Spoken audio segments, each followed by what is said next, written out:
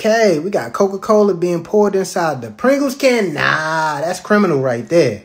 Is that taco seasoning? Uh-uh. What's what's going on inside that can? I need to see, cause I hope it ain't no chips inside there. Ain't no way, y'all.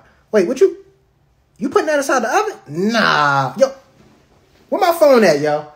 Somebody found my phone, or, or y'all call the fire department because she about to burn down the crib. No, you cannot put that in the oven. I'm I'm I'm not trying to hear that, y'all. I'm not trying to hear that at all. No. Ain't no way that ain't burning the crib down, man. It gotta be a video edit or something. Matter of fact, just just just open the can up. I gotta see what's inside of that. What is that?